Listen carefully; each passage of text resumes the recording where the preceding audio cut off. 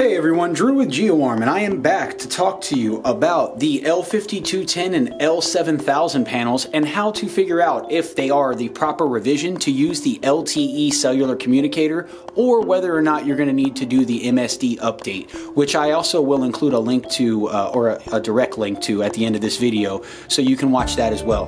All right, so the first thing that I want to get into here is I want to go ahead and talk about the L5200, uh, the 5200, which is here.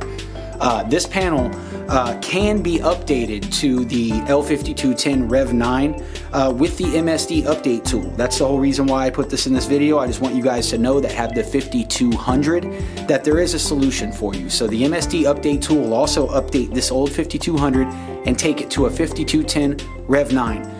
Once again, I'm going to go ahead and include a link to that video at the end of this video. So if you have the 5200, you can go ahead and fast forward to the end of this video and then click that link that I'm talking about that will bring you directly to uh, the video you're going to need to watch. Now I'm going to go ahead and put this 5200 over to the side here.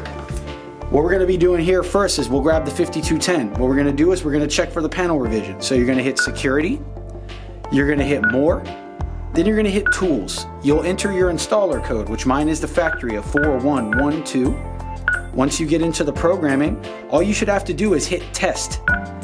Down at the very bottom, it should say Rev, and then it'll have a colon and then the actual Rev. As you can see on this one, it is a Rev 9 panel. So this 5210 is good to go. It's ready for the new LTE cellular communicator. So if you have the L5210, uh, your portion of the video is done uh, and uh, you've determined at this point whether or not you have the proper revision. If you do not, once again, wait for the end of this video. That link will pop up so you can watch the video to get this updated. All right, I'm gonna go ahead and move this over to the side as well now.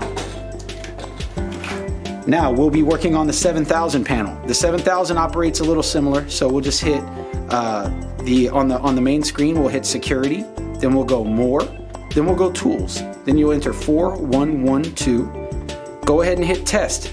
At the bottom, it should tell you the revision. As you can see, my panel rev is not high enough. It's a rev 7. So I would need to MSD update this using the tool in order to flash it to the rev 9, which is the proper firmware revision.